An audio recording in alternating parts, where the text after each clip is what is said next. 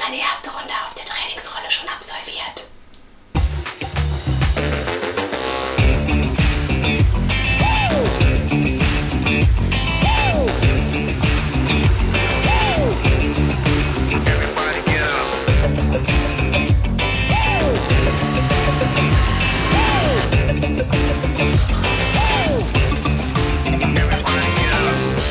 Es ist schon wahnsinnig viel zu tun. Den Haushalt schmeißen, mit Wäsche waschen, Staubsaugen, kochen, die Arbeit und dazu das ganze Training.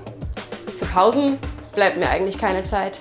Im Tagesverlauf sieht es so aus, dass ich sehr, sehr früh aufstehe, 4.30 Uhr, 4.50 Uhr circa und auf meine Rolle gehe im Wohnzimmer und da die ersten anderthalb, zwei Stunden auf der Rolle verbringe.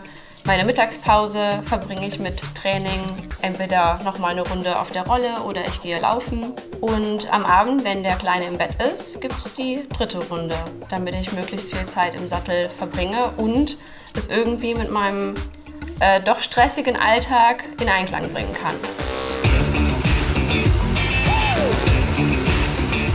Motivieren muss ich mich dazu eigentlich gar nicht. Das ist ähm, so in meinem Alltag drin seit Jahren, dass ich viel trainiere und ähm, ich werde immer wieder gefragt, woher nimmst du die Motivation? Aber das ist für mich einfach wie morgens aufstehen und einen Kaffee trinken.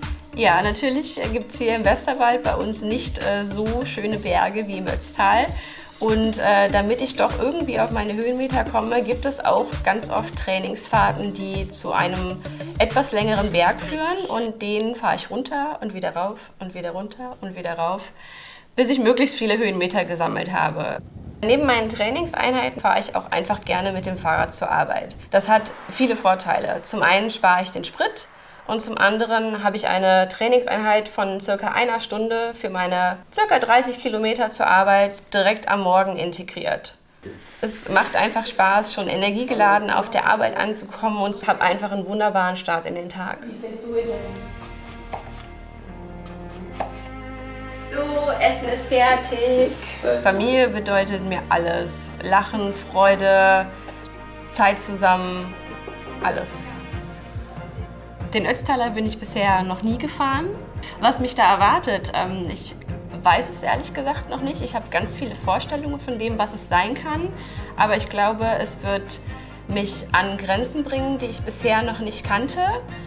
Ich persönlich bin, glaube ich, eher der Kämpfertyp. Das liegt mir in der Natur, so dass ich mir immer wieder neue, noch größere Herausforderungen suche, wo viele mich fragen, warum machst du das eigentlich? Warum tust du dir das eigentlich an?